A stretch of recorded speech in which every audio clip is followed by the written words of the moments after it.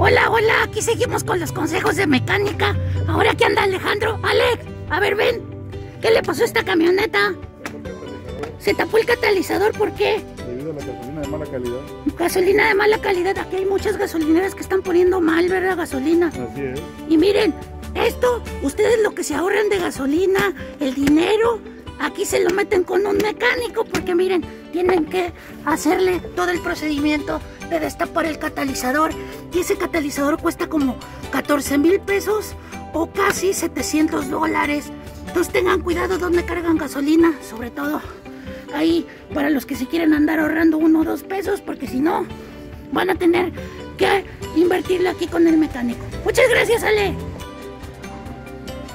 Bueno, y también lo que pasa con la gasolina contaminada, a veces no se puede sacar todo porque trae mucha agua o, o todo lo que son solventes que el combustible no le permite que se quema correctamente en el motor. Entonces hay que quitar todo este tanquezote de gasolina. Imagínense, casi 100 litros. Y luego para desensolvarlo, destaparlo, pues ustedes le invierten alrededor de 100 dólares. Entonces lo que se ahorran en gasolina barata, pues lo invierten aquí. Y así pasa con camionetas, con carros, con todo, porque daña el sistema de combustible, las bujías, todo. Por favor, tengan cuidado y no pongan gasolina barata. Cuide dónde carga su automóvil gasolina. Saludos.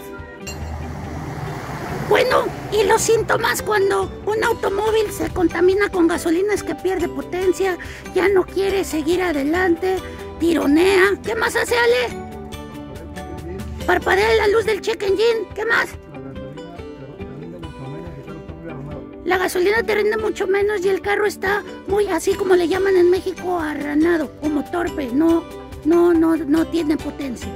Entonces tengan mucho cuidado, háblele al mecánico de su confianza y sigan los consejos de Pánfilo por el mundo.